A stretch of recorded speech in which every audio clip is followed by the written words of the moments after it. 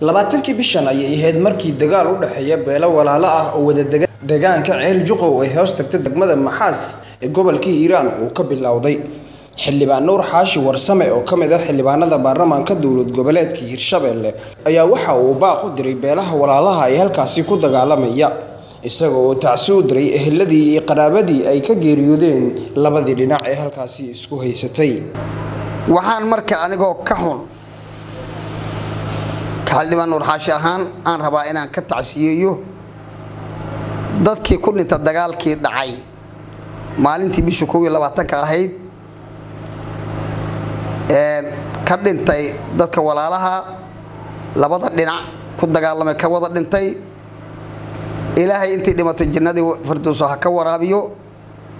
Inkastoo laga fiican yahay in laba qofood oo muslimuhu ay isku soo duulaan arrin laga fiican yaha weeye. Intii ku dhaawacantana allaha bogsiiyo. Gulufka colaadee haatan jira oo arintaas la xiriir oo ka dhashayna ilaahay subxaana wa tacaala waxaan weydiisanay in ilaahay qaboojiyo. Intaas kadib waxaan rabaa inaan codsi u jeediyo dadka soomaaliyeed ee halkaas ku dagaalamaa in ay dagaalkaas joojiyaan inay wada hadalla ku bedelaan in si miir qabta sidii dhaqanka soomaalidu ahay geed hoostiis lagu wada hadlo in la xisaabtamo in la kala jid qaato. Dhinaca kale xildhibaan nuur xaashi warsame oo ka mid ah xildhibaanada baarlamaanka hiirshabelle ayaa waxa uu gudoomiyaha degmada maxaas ku eedeeyey in uu horinayo dagaalka halkaasi ka soconaya bishii bisha labiyo labaatankeedii ku abaareed maalintii sabdiga ahayd.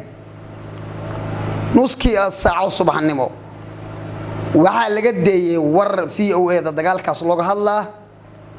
Waxaana deeyey nin mas'uula oo sheeganaya inuu yahay gudoomiyaha degmada maxaas.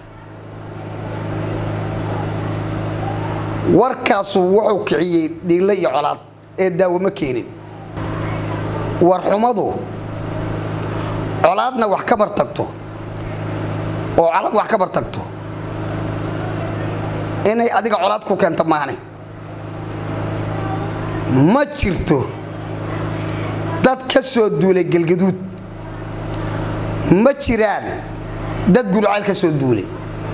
waxaa diriray oo dagaalku dhex maray waa shacbigii gobolka hiiraan.